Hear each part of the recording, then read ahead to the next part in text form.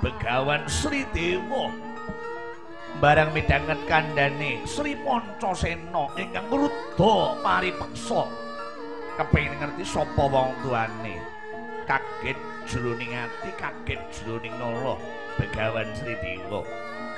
Belakang mongko wis kemetu Pancasena. Ger ora duwe ngerti luwung temekaning pati kaya pinangking mantra gaib ora bisa kandha apa-apa Begawan Sri Dewa.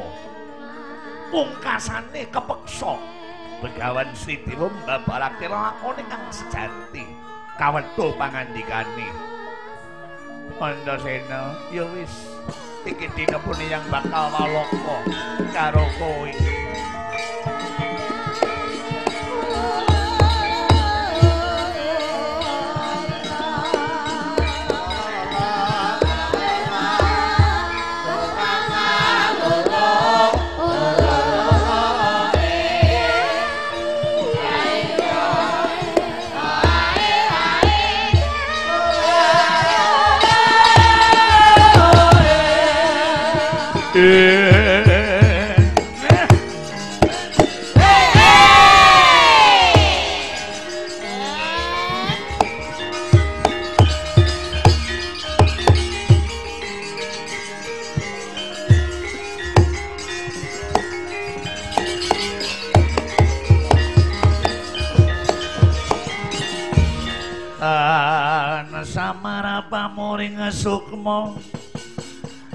Sinukmaya winah ya ing sepi Sini pentalengi kalbu pambukaning warana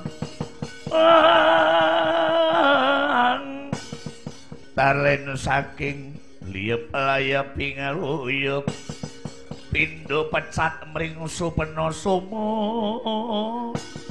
Suka mring rasa jati Oh Pandasena wonten dawuh ya wis lungguh sing kepenak. Purwa madya tekaning wasana iki dina peni yang bakal crita arep mbibirake lakonmu sing sejatine. Ning sedurunge puni yang bakal walaka kaya aja kaget tur aja cilik ati. Mboten Kaya ngono wis ditata napasmu. Lungguh sing kepenak kowe wedang bening dumbe dadi asok. Kepanganan sinang arep dipangan. Supaya pikiran iki adem ayem ora kemrungsung. Mekaten yang. Heeh karo mitang aku tegendu-gendu rasa karo kowe ning pisan iki aku kandha kowe aja kaget. Tur cilik ati. Mboten. Bapak kula menika sinten kowe tak wae ngerti. Kowe iki sejatine duweni bapak. Tur bapakmu ki menungso ora bain-bain nyoto-nyoto kita dak turun andono wari turasing marotapa turunaning sapya luhur bebuden kang bagus aten-aten kang wicaksana. Lajeng sintene yang wong tuamu ki jenengane Werkudara asal saka kasatriyan Jodimati Bapak kula jenengane Rama Werkudara asal saka Jodimati. Jodimati ki wilayah Ngamarta. Ngamarta ki panggonane wong Pandhawa. Pendho ki cacahe 5 sing barep jenengane Puntadewa, angka loro si telune Janaka, papat Nakula, limane Sedewa. Wong lima mau ora kena genggang. Tur duweni semboyan lan prasetya mati siji kabeh kudu mbelani. mulane wong pendoki ampuh-ampuh tur didaya mekatene yang kowe iki klebu anak nomor 5 lho kula anak nomor gangsal mung ora kecerita lajeng kula duweni sedulur sinten angka siji antarja mbarepe iki anak werkudara sing patutan kelawan naga gini Angka loro Gatotkaca anak Werkudara sing karo Arimbi, telune Antasena Werkudara sing patutan kelawan Urangayu. Papate Srenggini anak Werkudara sing patutan kelawan Rekotawati, ping limane kowe. Pancasena anak Werkudara sing kelawan ibumu Sri Giyanti. mekaten yang nyuwun pangapunten menawi kula kepareng ngertosi kenging menapa kok ibu kula saged pinanggi kelan Rama Werkudara menika critanipun kados pundi? Jane ya ora ketemu. Mung tak perlu tak omongaken aku genah isin karo kowe. Jalan iki barang memati mboten iki mawon kula kedah ngertos yang. Ya wis ngger kaya ngono kepeksa tak critake. Nalikane ana lakon Werkudara ki merguru kelawan Sang Hyang Dewa Ruci. Wektu semono Werkudara kepengin necep ngelmu rabi batin.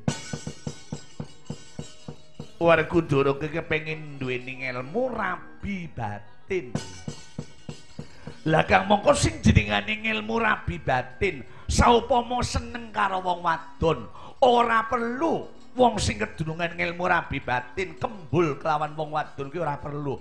Mung srana lewat masumpenan mung srana nyenggol tangane paribasane. Kuwi rasane kaya dene wong sing kaya ngono lah. Ora perlu tak critake kuwi wis dewasa mestine mudeng mekaten ya. Dalajeng lah nalika semono weriku duru ki kadring banget kepengin banget. Barang wis paripurna lenen cep ngelmu rabi batin jane werkudara ki seneng kelawan ibumu. Sri Giyanti ki jane wis suwe mung ora kewetu ora kebabar kelawan toto lahir. Mung sinimpen ana sajroning angen-angen wateke bocah nom-noman kaya wong tuamu werkudara nembe mentas merguru anyar-anyaran ngelmu rabi batin. Ngelmu rabi batin ditindake. Dijajal. Nyatane mung lumantar pasumpenan. Wong tuamu Werkudara ketemu kelawan ibumu Sri Giyanti ana sakjroning pasumpenan kuwi kembul bareng nunggal sejiwa. Padha-padha ngatokake katresnan. Werkudara ya seneng kelawan ibumu Sri Giyanti Sri Giyanti ya seneng kelawan Werkudara ring kesing crita biyungmu ki garebeni jalaran kaperbawan dayaning ilmu rabi batin. Sawise biyung munggarbeni werkudara pancen tanggung jawab. Sri Giyanti aku titip jabang bayi sing manggon ning wetenganmu besok kapan lahir jeneng ana Pancasena. Mekaten mm lah suwe ning suwe sangang wulan 10 dina babar punang jabang bayi lanang. Mulane aku manut kelawan si Werkudara kowe tak weni tenger jenengane Sri Pancasena. Sri ki genah saka ibumu Sri Giyanti Panca kelima Sena ki Werkudara mulane jenengane kowe Sri Pancasena dadi ora jeneng kowe iki ora duweni wong tuwa ki ora. Ning kowe iki duweni wong tuwa jenengane yo ki mau Werkudara aduh ya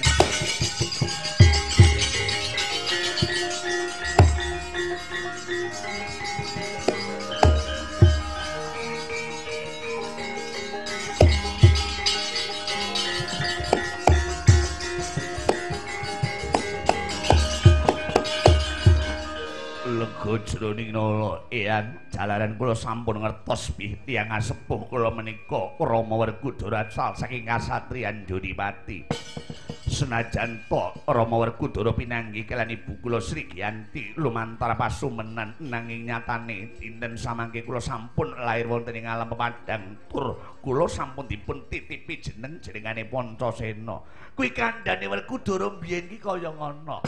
Jalaran nalikane ibu munggarbeni Werkudara ki ngadep kelawan puniyang yen to tanggung jawab marang kelakuane si Werkudara kelawan ibumu Sri Giyanti mulane ditepake kowe dadi anak Werkudara sing nomor 5 mustikaning satriya tama.